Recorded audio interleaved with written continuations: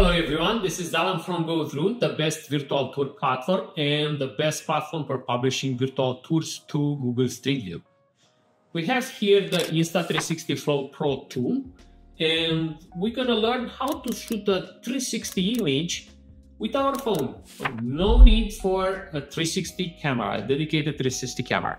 For that, we're gonna launch the Insta360 app and we're gonna turn on the Flow Pro 2 and we're gonna connect it to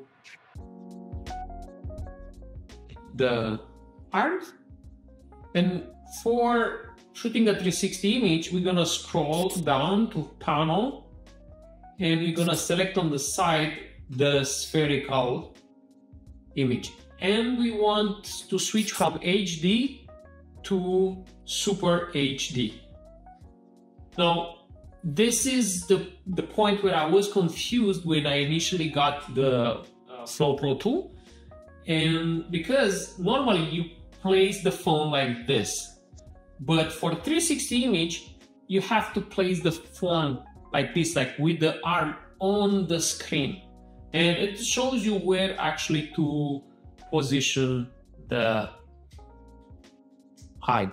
Then placing that and now we're gonna start the 360 image by clicking the red button on the left side.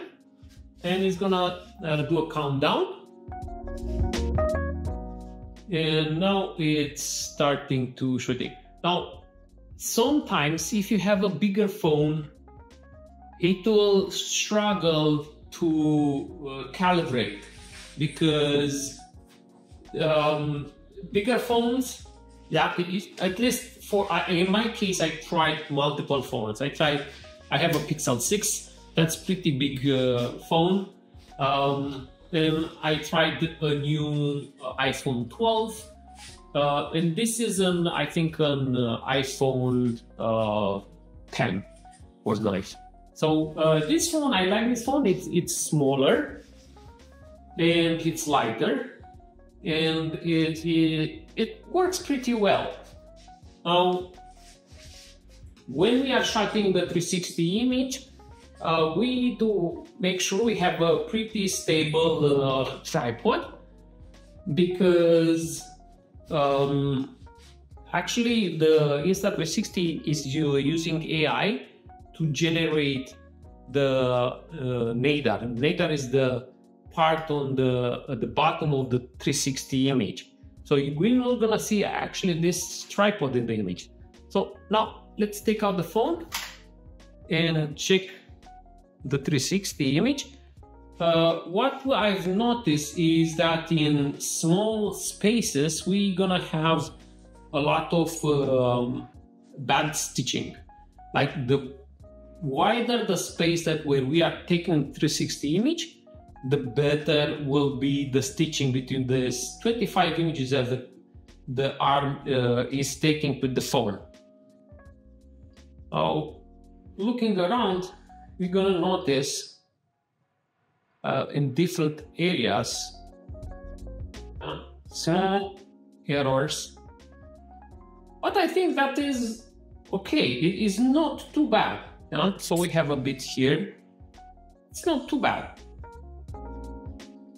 I did play with the with the um, phone and with the arm, and I tried actually reversing the phone in shooting in reverse mode. Um, you might get a bit better results if you do that. Um, I think it's up to everyone to decide what is the best way to shoot, like normal or in reverse. But um, yeah this is uh, the Insta360 Pro 2 and how to shoot 360 images for real estate, I would say. If you have not subscribed to the GoThru channel, please subscribe to the GoThru channel. It uh, helps us uh, growing and creating videos like this. Uh, and happy shooting in 360.